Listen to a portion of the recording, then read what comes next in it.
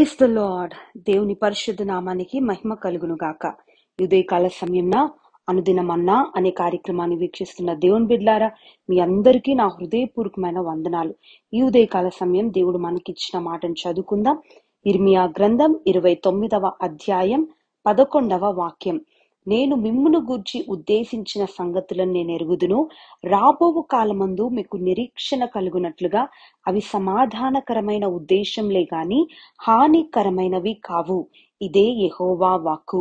దేవుని బిడ్లారా ఉదయకాల కాల సమయంన దేవుడు చక్కటి వాగ్దానం ద్వారా మనతో మాట్లాడుతున్నాడు.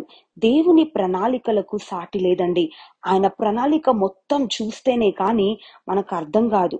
మనం ఎన్నో సంగతులు ఉద్దేశించుకుంటాం. కానీ అన్నీ మన జీవితంలో జరగకపోవచ్చు. కానీ దేవుడు ఉద్దేశించింది ప్రతీది కూడా అది జరుగుతుంది. మరియు అది మంచిదై ఉంటుంది. దేవుని బిడ్లారా దేవుడు అబ్రహాంను పిలిచినప్పుడు అది క్లిష్టమైన పిలుపే. అబ్రహాంను తనకు సంబంధించినవన్నీ వదులుకోమన్నాడు. అనిశ్చతలో అడుగు పెట్టమని దేవుడు పిలిచాడు.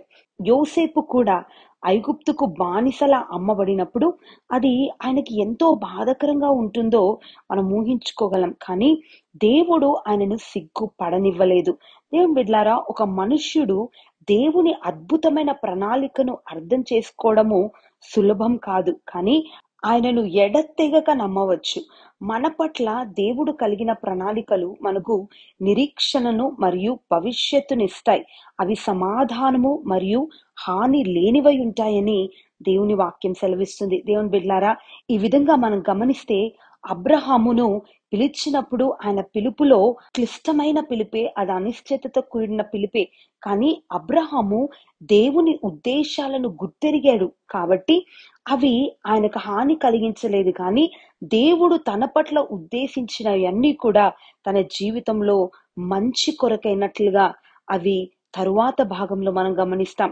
దేవుని బిడ్లారా అదే విధంగా యోసేపు జీవితంలో కూడా ఆయన బానిసలాగా అమ్మబడినప్పుడు అది ఆయనకి ఎంతో బాధకరంగా ఉందో మనం గమనించాం. కానీ తరువాత ఆయనకు అర్థమైంది ఏంటంటే ఇదంతా కూడా దేవుడు మంచి కొరకై ఉద్దేశించాడని. దేవుని బిడ్లారా ఉదయకాల కాల సమయంన మీ జీవితంలో కూడా కొన్నిసార్లు దేవుని ప్రణాళికలు ఆయన మీ పట్ల ఆయన ఉద్దేశించిన ఉద్దేశములు అవి నెరవేర్చబడుతున్నప్పుడు కొంచెం మీకు కష్టంగా క్లిష్టంగా అనిపించవచ్చు కానీ ఆయన ఏదైతే ఉద్దేశించాడో అది ఏ రోజుకైనా నీ జీవితంలో మంచి కొరకే అని ఉదయకాల సమయంలో దేవుడు తెలియజేస్తున్నాడు. మీరు ఎటు వైపుకు అడుగు వేస్తున్నారో మీకు తెలియకపోవచ్చు. కానీ ఎక్కడికి నడిపిస్తున్నాడో దేవునికి మాత్రము చాలా బాగా తెలుసు. దేవుని బిడ్లారా మనకు ముందుగా నడిచి త్రోవలను సరాలము చేయును అని దేవుని వాక్యం చెప్పినట్లుగా మనం వాక్యాన్ని నమ్మగలిగితే దేవుని నడిపింపుకు ఎప్పుడు కూడా మనం భయపడమండి.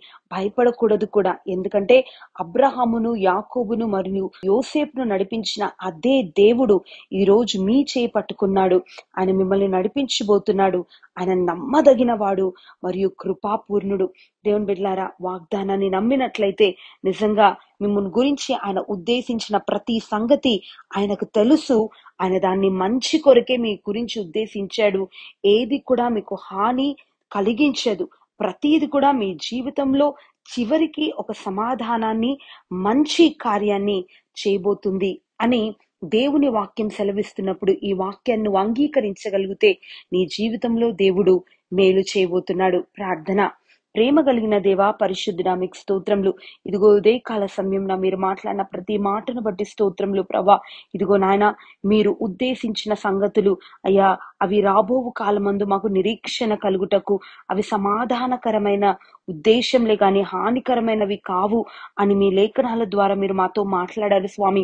ఎంతమంది జీవితంలో ఇదిగో ప్రభా మీరు ఉద్దేశించిన సంగతులు అయ్యా ప్రభా వారి జీవితంలో జరుగుతున్నప్పుడు అవి కష్టంగా అనిపిస్తే ఇది నా జీవితానికి హాని అని ఎంతమంది అయితే అనుకుంటున్నారో వారి జీవితంలో ప్రభా మీరు ఉద్దేశించిన ఉద్దేశములు అవి ఏమాత్రములు కూడా హానికరము కావు.